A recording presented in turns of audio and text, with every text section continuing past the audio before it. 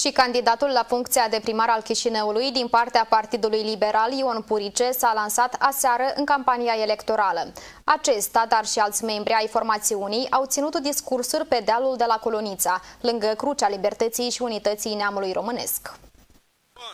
Ion, Ion, Ion, Ion primar, Ion primar, Purice, Purice. Încurajat de colegii de partid, Ion Purice, candidatul la funcția de primar al capitalei din partea Partidului Liberal, a făcut declarații și promisiuni. Municipiul Chișinău trebuie să devină un oraș prosper, verde, curat și iluminat, în care toți copiii să trăiască sănătoși și în siguranță. Evenimentul de lansare în campanie electorală a avut loc aseară pe dealul de la Colonița, lângă Crucea Libertății și Unității Neamului Românesc. Anume în acest loc, în 2014, la inițiativa mea, noi, liberalii, am ridicat în memoria celor care au luptat pentru existența noastră, pentru existența neamului nostru, această cruce. Candidatul Pele la funcția de primar al capitalei a fost susținut și de unii artiști de muzică populară de la noi. Îl cunosc de mai bine de 10 ani, drept un om de cum se cădenie deosebită,